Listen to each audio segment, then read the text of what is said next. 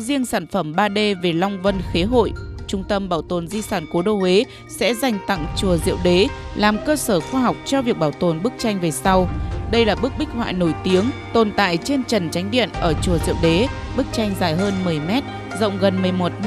vẽ 5 con rồng uốn lượn ẩn hiện trong các tầng mây trên trần điện và 4 con rồng quấn quanh 4 trụ cột lớn theo một điển tích xưa của nhà Phật.